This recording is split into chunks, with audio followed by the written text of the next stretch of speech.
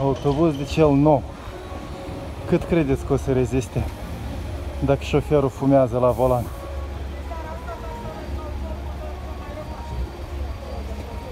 Că nicotina ce distruge și autobuza, a? se rușinează, ia uite cum iese fum și are și cutie de chent la vedere.